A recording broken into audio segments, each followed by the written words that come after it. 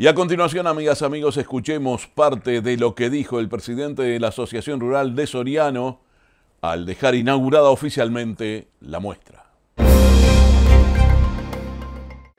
Hace 30 años, en la primera edición de Expoactiva, empezaron 19 empresas y un sueño en la presidencia de Leopoldo García Nutari de hacer un evento distinto festejando los 100 años de la rural.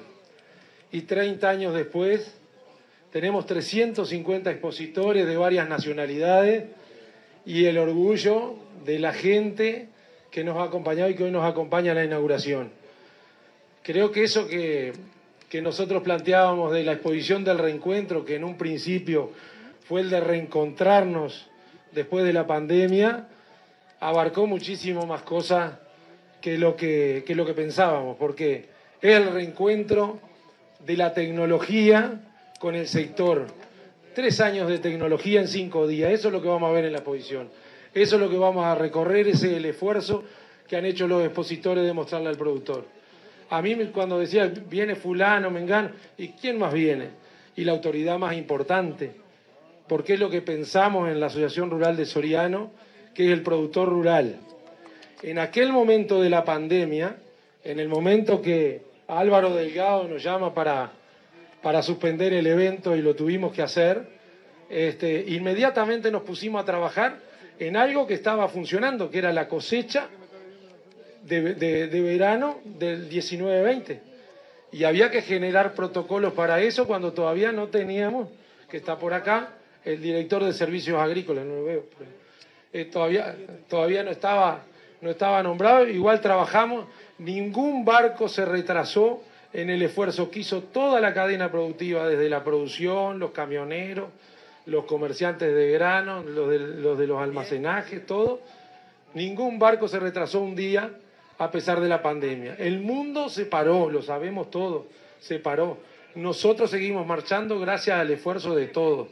Y el productor siguió trabajando, generando alimentos. El mismo año, en el 20, los productores con su resiliencia agotaron la semilla disponible que había para sembrar en invierno.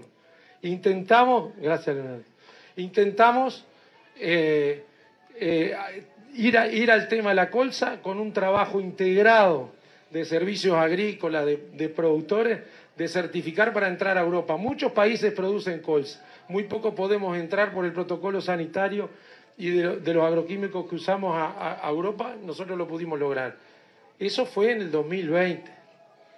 En el 2021 la zafra fue récord, los ingresos fueron récord. Y yo siempre creo que de aquel golpe fue de la manera que pudimos de alguna manera salir adelante y hacerlo.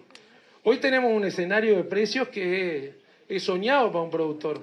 Eh, si algo quiere un productor, es un clima que lo acompañe, nos ha acompañado, tenemos unos cultivos preciosos, están muy bien, estamos muy cerca de la cosecha de concretar un escenario ganadero que viene creciendo en los últimos dos años.